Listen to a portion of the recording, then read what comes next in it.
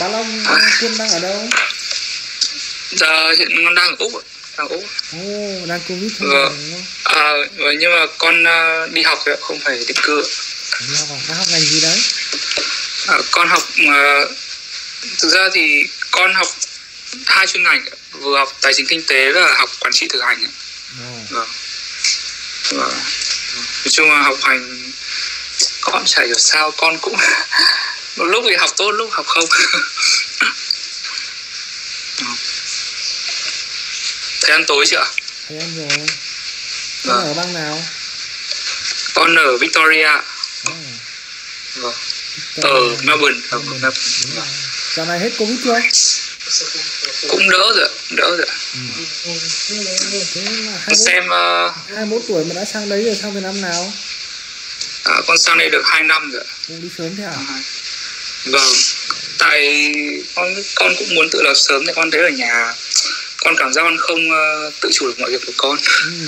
thầy vẫn vâng. thấy con nên đi để người cô phúc đức mà cự môn hãm địa thì nên xuất ngoại à thế ạ ừ. Con là con sau cự môn hãm địa làm cô phúc đức mà xuất ngoại đúng rồi à, À, vâng. mệnh của con là cũng hãm luôn thấy âm hãm địa này ở Việt Nam thì không ăn thua thì cung thiên di của con là À. đẹp nhất thiên di của con là thiên đồng hãm địa gặp tuần lại sáng lên khi con xuất ngoại thì con vừa giải quyết được cung phúc đức hãm và cung mệnh hãm à thế ạ Ờ. thân của con lại Con- con lộc lại gặp triệt nữa nên là cũng phải sau 35 thì mới rực rỡ được đất ở nhà Vâng. toàn âm binh thôi phục binh nó cũng điền chặt vâng Đó. tài bạch của con là thái dương hãm địa nên con không gần cha được phải xa cha thì mới ra tiền à thế ạ phu thê thì sau này dễ hai vợ vì tả phù bật chiếu cung thê huynh đệ Vâng. liên trinh tử vi thiên phủ thì huynh đệ là đều có sức khỏe tốt thì cung tần ái có sao vũ khúc miếu địa nô bộc có Vâng. sao tuần nên là bạn bè hơi trắc trở một chút. Vâng. Con cái có phá quân thì họ với đế vượng là sau này đông con cái và con cái khá giỏi. Vâng. Đấy con là con khoa tại mệnh được gọi là giáo sư biết tuốt cái gì cũng biết. Không. Vâng. Tại vì thực ra con thực ra là con rất muốn về Việt Nam. Tại con thấy vâng nên nếu về Việt Nam thì liệu nên làm ăn xa nhà hay là nên khi con về Việt Nam thì con phải làm ăn rất xa bởi vì khi mệnh con khám mặc dù con có hóa khoa lộc có quyền chiếu là tam hóa liên châu khá là năng nhưng mà lại tả phù bật của con nó chiếu ở sau 35 tuổi cơ. Thì cái Vâng. tinh thân của con mới có tả phù bật còn chờ chưa có tả phù bật con về cực kỳ mong manh. À tức là tức là sau 35 thì có thể về ạ? Ừ, sau 35 thì có tả phù bật là về được. Vâng và vì con là có cả khoa lộc quyền chiếu mà số này mà thân cư quan mới làm quan thì triệt đường quan lộ thì vào nhà nước không được. Vâng. Nên con cũng tự xác định là làm ngoài. Ở ngoài vâng. Ờ, thế nếu giả sử con về Việt Nam và kiểu con ờ, làm ăn ở xa kiểu như là ví dụ quê con thì ở thì ở Hà Tây cũ thì con làm ở Lạng Sơn hay là kiểu Lào Cai có được? Được thế thế vào miền Nam cũng được. À vâng. À thế ạ. Vâng. Tức là cứ miễn là chỉ cần xa có xe đất tổ là được chứ còn kiểu ở các tỉnh khác thì đều ok. Ừ. vâng. À thế con lại con lại không nên con lại không nên ở gần bố ạ ở vì sao không biết là mình hãm địa vâng. Ừ. ok. Tại vì thực ra con cũng đang băn khoăn là không biết là thực ra con thì con thích làm kinh tế nông nghiệp tức là kiểu như là trang trại ấy thôi. Ồ, nhưng mà cái đấy Việt Nam Vâng. khó thành công lắm nhờ. Vâng. Con vâng con cũng thực ra con thì con lại có con con cũng, người Úc người ta làm rất ok nhưng mà về Việt Nam thì cực kỳ khó triển khai đố mà biết tại sao. Vâng. Bởi vì đất ở Việt Nam mình ấy, nó Đất Việt Nam ít, nó- nó lẻ tẻ nó không rộng như ở Úc. Nhưng mà sao mà con triển Vâng. khai công nghiệp được? Vâng. Mỗi nhà được mấy xào người ta cứ dồn vùng đổi thửa đâu. Mà con làm về công nghiệp? Vâng. Hai là thiên nhiên của bên Úc ấy, thật ra là nó cũng rất là chủ phú và đa dạng ấy. Vâng. Đấy, nó cũng phù hợp. Rồi hạ tầng nước nôi của nó tốt mình có phải là con có thích là con con nước con tưới đâu. Vâng đúng đúng. Làm nông nghiệp Thầy ở nói Việt. Nam thì khó lắm. Thầy nói giống y hệt bố hệt bố con. Thầy sang hết rồi thầy đi khắp châu Âu rồi thầy đi cả Mỹ rồi các nước nông nghiệp thầy đi thầy xem hết rồi. Con mà Vâng. ra một cái siêu thị gỗ con nhìn thấy đồ hoa quả của nó thì thôi về Việt Nam thì khỏi trồng luôn. Nhìn chán luôn. Vâng. Đúng không? Nó bé bằng cái tẹo như cái kẹo bây giờ lại còn sâu bọ nhiều nữa. Cần lại phải tiêm thuốc thì nó mới ờ, đỡ sâu bọ thì lại lúc đấy thì lại vượt chuẩn không xuất gì được. vâng. Ờ bị nó con hâm mộ thầy lắm thầy ạ. Con ờ, con xem thầy nhiều.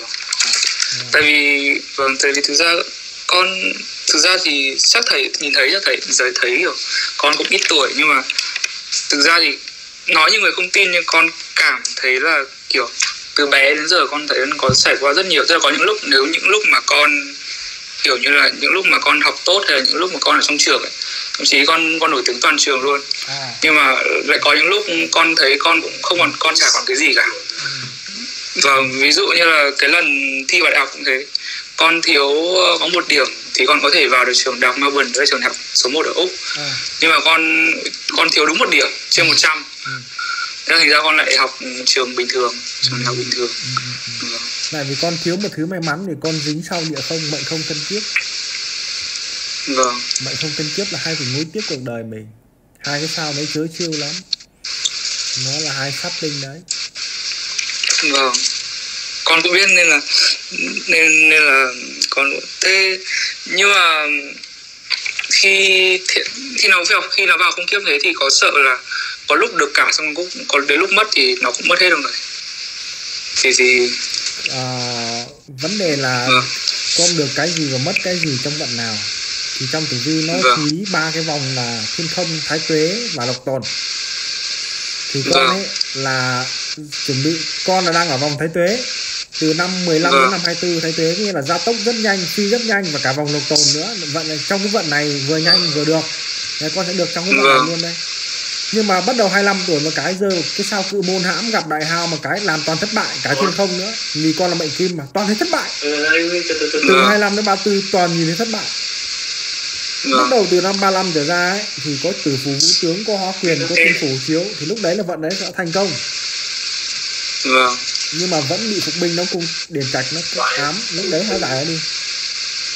Vâng. Đến đại vận 45 một con á thì lại có hóa khoa hóa lộc chiếu nhưng mà lại gặp không kiếp chiếu mà cái thiên lương gặp triệt thì nó lại cũng chả tạo ra tài sản mấy nó giống như đi tu tập học Vâng. tập thêm được nhiều ấy đấy thì đến Vâng. đại vận 55 có vòng lục tồn. Cả thái tuế nữa gặp lại cái lúc đấy thì kinh nghiệm của mình đầy mình rồi tiền tài nó mới lúc nó mới tốt. Vâng tôi chỉ chịu tôi Ờ, tại vì thực ra thì bố con thì vậy rất mong muốn là kiểu con làm cùng bố nhưng thực ra con cũng thấy con cũng không tiếc thế này. Thì thực ra nó cũng khó. Nhưng mà kiểu con có một cái ý định là tức là con về con chỉ làm như gần như là con không nhận lương. Tức là tiền kiếm được bao nhiêu là con đưa đưa bố mẹ hết. Coi như là kiểu con làm giống như là một kiểu như là một cái người đắc lực thôi. Tức là kiểu con đang có chiều như vậy thì theo thầy có nên không? hay là vẫn vẫn vẫn, giàu vẫn nên tự lập? người giàu thì làm không nghĩ đến lương. Người Vâng. giàu phải nghĩ đến việc là mình sẽ trả lương cho người khác. Nó lại xếp đầu. Vâng. nó nó không phải là nghĩ đến lương. Vâng. thường đấy có cái để ý cho người giàu là người đi trả lương người khác. Vâng. Còn người đi nhận lương người khác thường khó giàu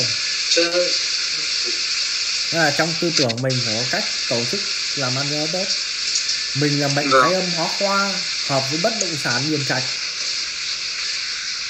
Vâng. Ừ. hợp với giáo dục và đào tạo hợp với những cái gì đổi mới. Hợp với cái gì- nông nghiệp nông nghiệp lại không hợp. Nông, nông nghiệp.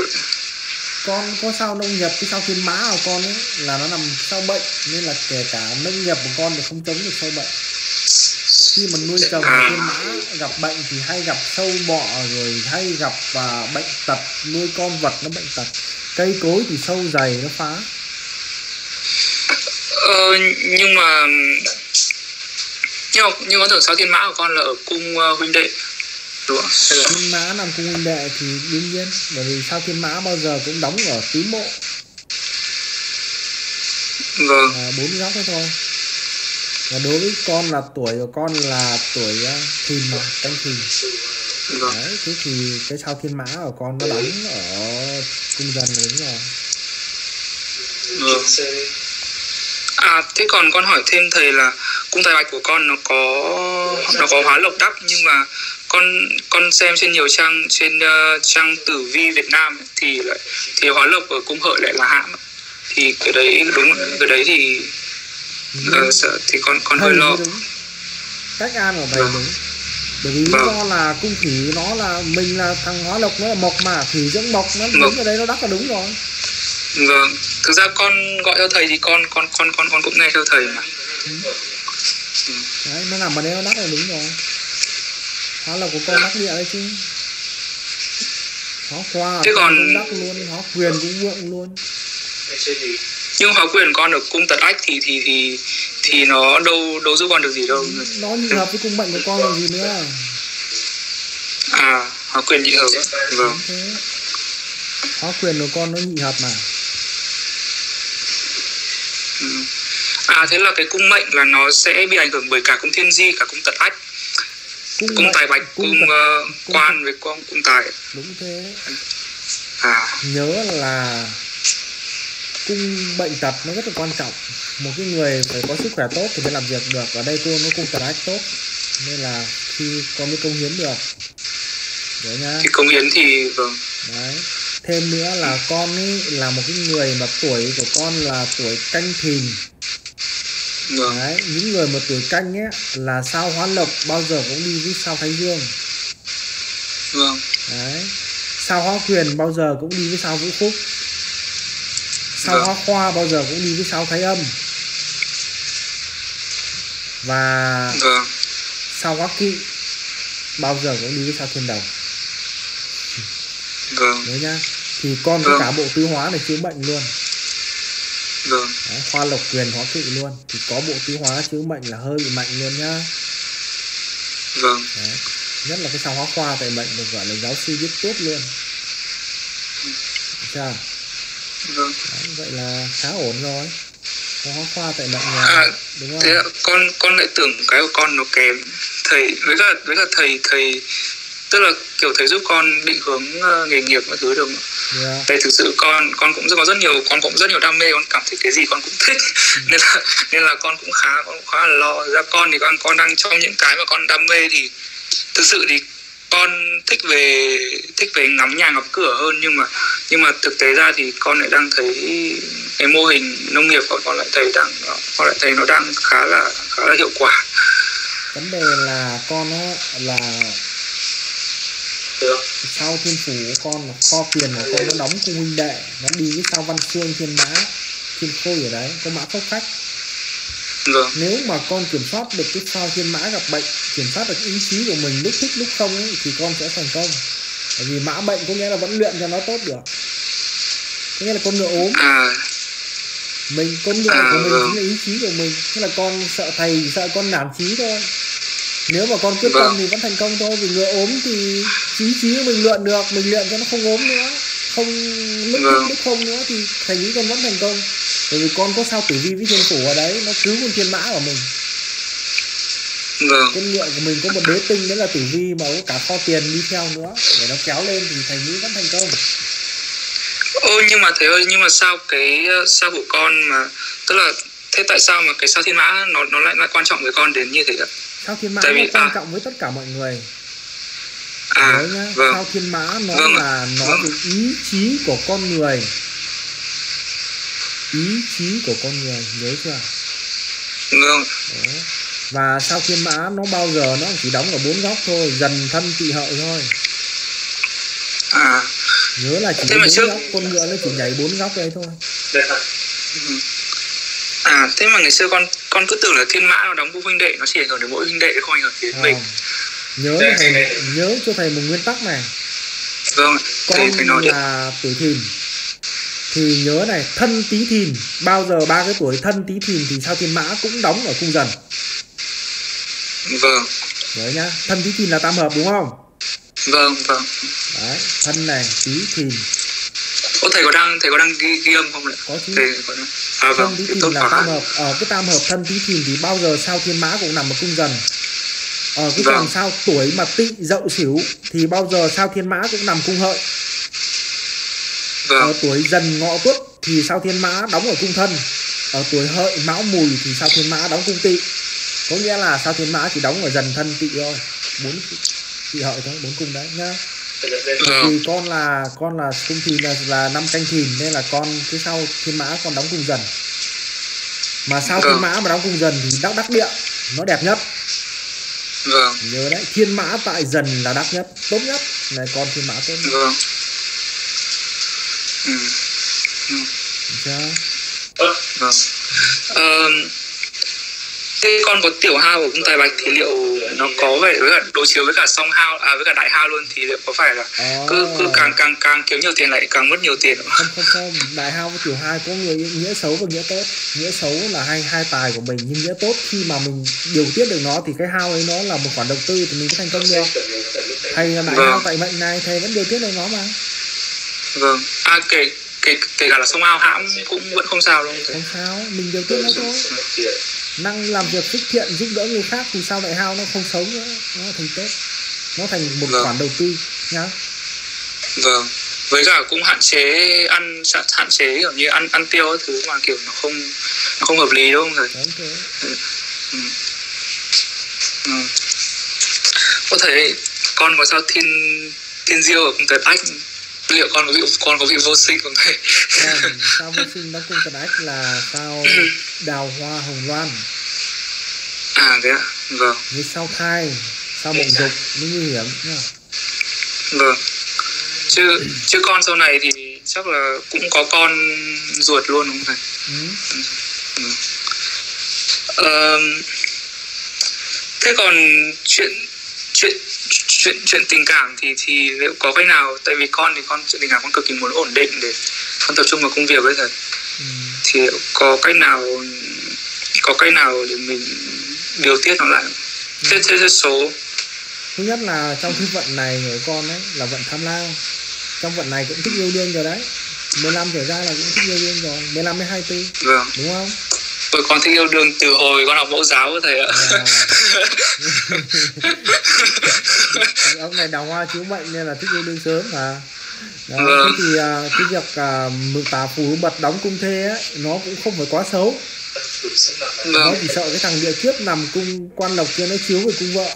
Và đào hoa gặp hóa kỵ nằm cung thiên di thôi vâng. Nên là cũng không sợ lắm. Con chỉ cần hóa giải cái sao vong thần đóng cung tề bạch đi cái sao quả tú đóng cung thê đi thì việc vợ con ổn định thôi nhá.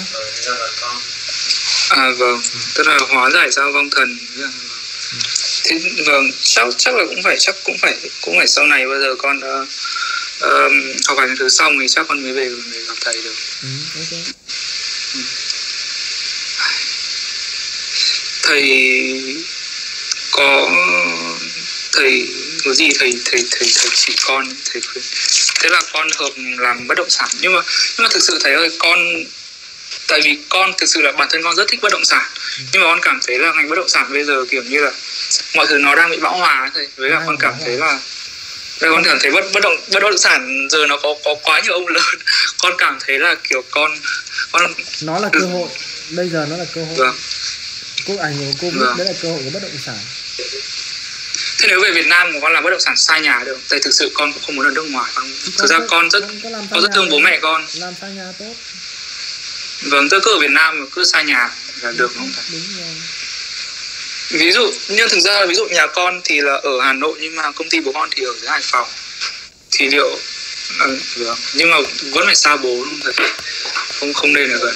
Bởi vì sao cung phúc đức của mình hãm thì mình nên sai cái nơi mình sinh ra thì mình sẽ thành công hơn. Thì một con đường tự lập vâng. Tại vì thực sự thì vâng. Thì một con đường tự lập mình sẽ thành công được tại vì thực sự con không muốn xa bố mẹ lâu. Tại vì thực sự con biết nhưng mà con thấy con là người rất là tình cảm. Vâng. Nhưng mà vì sao Ừ. thanh dương của mình nó nằm ở cung hợi ấy? Nhưng là mình càng xa cha mình cha mình lại càng sống khỏe sống tốt à càng sống tốt ạ. À vâng. Ở gần cha sao thanh dương hãm là thành nguy hiểm? À vâng. Thế ví dụ như là đi làm xa ví dụ một tuần về nhà một lần chắc là được không thầy? Ừ, được. Ít gặp. Thế là được. Ừ. chứ cũng không nên là ở nhà tức là không nên là ở nhà cạnh nhà bố mẹ luôn. Không không nên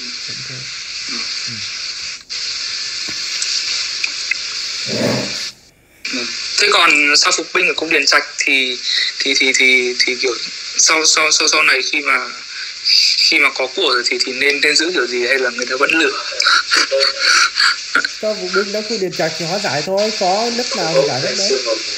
À vâng. Nhưng mà con biết là con sinh vào tháng 10 âm lịch là kiểu gì anh quả địa không điện kiếp chiếu mệnh này vâng con biết điều đấy thầy ạ. Vâng. Kể là tất không cả những người sinh tháng 10 âm đều dính Vâng. không kiếp chiếu mệnh luôn chạy không phải nắng. À vâng. Cái điều đấy thì con biết thầy cái đấy thì con biết. Nhưng mà thực ra- cuộc đời sẽ rất thăng trầm về cái thằng không kiếp nó chiếu mệnh đấy. Nó khiến cho mình tiếc nuối rất nhiều lần. Vâng khi ăn cái bộ khi ăn cái bộ lục Thế- sát ăn sao không kiếp là rất buồn cười củ chuối. Bởi vì con thực ra là con không tham lam nhưng mà con muốn gì đấy nó nó ổn định mà. Số lại đúng đúng đúng như này. Ừ.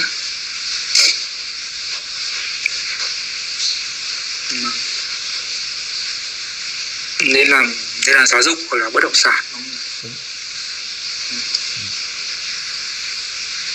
Nói biết là cuộc đời mình nó sẽ bấp bênh mà. Cưỡi ngựa để ốm nhá nên cứ vui vui đi. Vâng. Và sẽ không kiếp nó. Khi mà cung ờ, mệnh của con nó chuyển sang cung thân ấy thì lúc đấy nó sẽ ổn định hơn. Và đại vận 35 thì ổn định hơn. Rồi con Vâng. bắt đầu bước vào sóng gió từ năm 25 đến năm 34 tuổi vừa thiên không vừa đại hao vừa cô thần. Tức là vừa cô đơn này vừa phải một Vâng. mình chống chọi với thiên không vì mình mệnh kim nó cưa này giống như nằm trong chia laser nó cắt liên tục ấy. Nên con cứ tưởng tượng là Vâng. mình phải chạy kiểu như là đi đi vào phá trận đấy phải nhấp thật kỹ không có là laser của thiên thiên không nó cắt cho ấy vâng phúc đức hãm địa lúc đấy là mình giả nợ nhập vì cung phúc hãm là nhập âm mình cũng lớn Nhập tiền kiếp lớn lúc đấy là phải gánh Vâng. Thị phi cãi cọ tranh Vâng. chấp tranh kiện lễ bị lừa gạt ở vận đấy Dễ mất mát và À, vâng. Nên là vận đấy thì đừng có cầm tiền tài làm gì cả Vì đại hao mà vâng. Đấy, Bắt đầu 35 tuổi thì nó sẽ chững chạc. Lúc đấy là có tử phù vũ tướng chiếu là lúc đấy nó bắt đầu ổn lên và cũng lập thân nữa lại có tả phù vũ bật nó chiếu cung thê lên nữa thì sẽ ổn định hơn nhá. Vâng. Ôi thế vâng thế, thế thầy còn thầy có nói chuyện được với con thêm một chút nữa không? Hay- Đấy, con nói đi. À, à vâng vâng. Tại vì vâng. Tại hiện tại con cũng đang có bạn gái con thấy cô đấy cũng rất là ờ, yêu con con thấy cô đấy cũng gọi nào tức là cô ấy cũng thấy cũng hy sinh vì con nhiều thì tại vì Thì- bạn thì- gái thì- của mình bản chất là tốt mà thiên cơ để tả phú bật cũng muốn cố ý định giúp mình mà. Vâng. Đấy nhưng mà Ờ, vì, đấy là- vì mình có cái sao tiền duyên theo nên là nó vẫn có một cái sự khoảng cách chưa tiến tới được với nhau hóa giải cái sao quả tú của cái công đi rồi Vâng. gia đình mình ở đất nào thì hóa giải cái sao phục binh đóng cung điền trạch đi. Ba cái nhật đấy khi hóa giải đi là tốt. Rồi biết là cung phúc đức của mình là cự môn hãm địa thì về hậu vận khi nào về Việt Nam thì phá độ gia tiên cho các cụ. Vâng để giải cái công phúc đức xấu đi. Chính là nó giải rồi nhá mệnh Vâng. địa không thân địa kiếp thích thì ghi nó đi. Vâng những thứ cần điều chỉnh mệnh nó phải ghi vào rồi.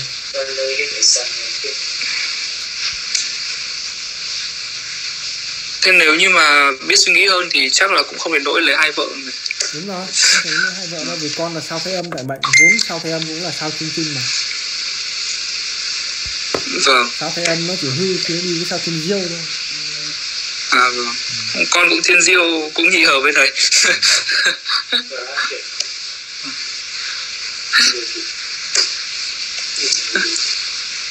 để con xem ảnh thầy gửi.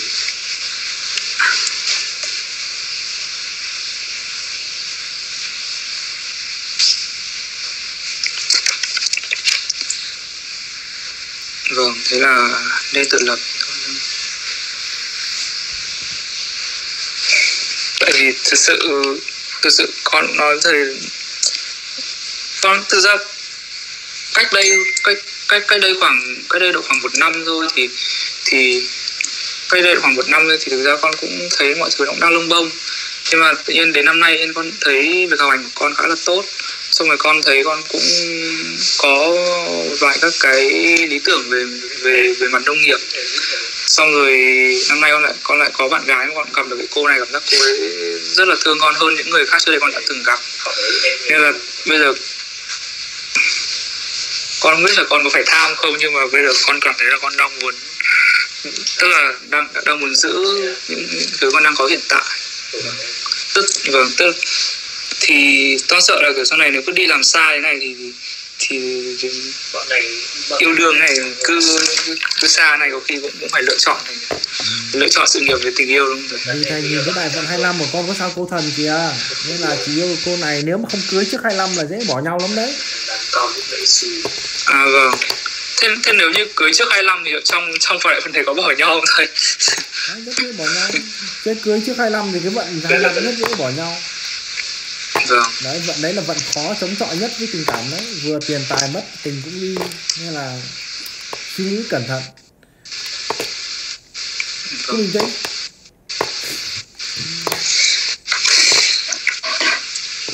vâng. Thế thì vâng tại vì con cũng sợ là công phúc đức của con cự môn hãm nhưng mà nhưng mà thực ra nếu thế này thì con cứ đi đi đi cứ đi từ 25 cho đến 34 thì chắc là con cũng già được cũng già cũng già được phần phần nào nghiệp. Ừ.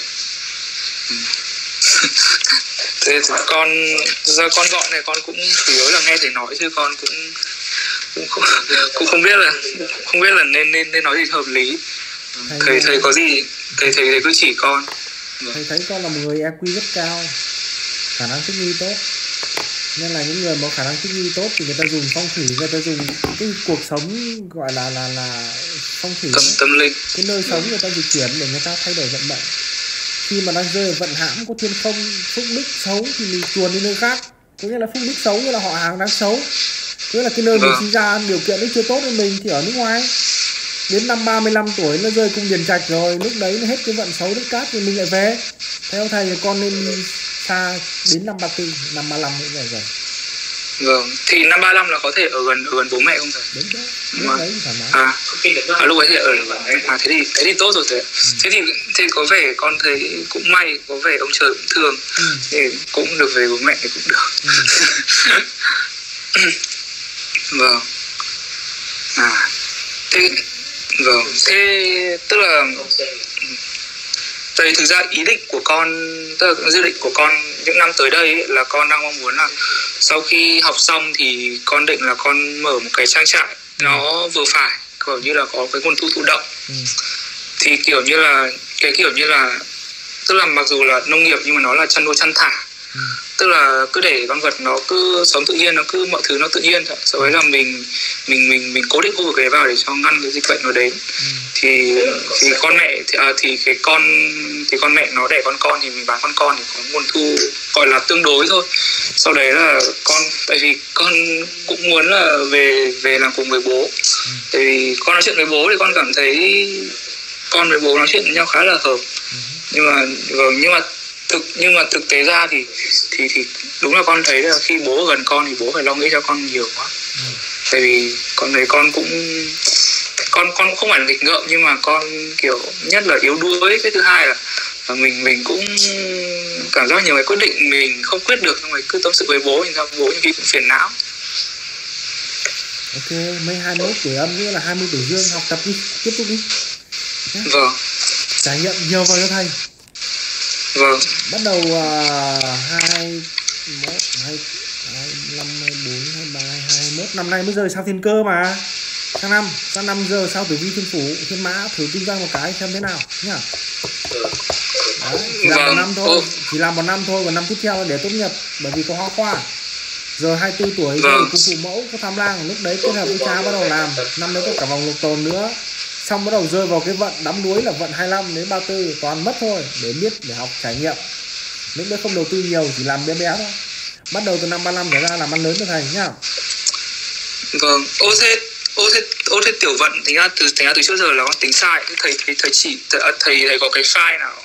Kiểu nói về cách tính tiểu vận tại vì con đang tính tiểu vận theo cách của con ấy thì là thì là năm nay là nó rơi vào năm nay là nó rơi vào nó rơi vào thái âm rồi năm nay của con là 21 tuổi nó rơi cung thê.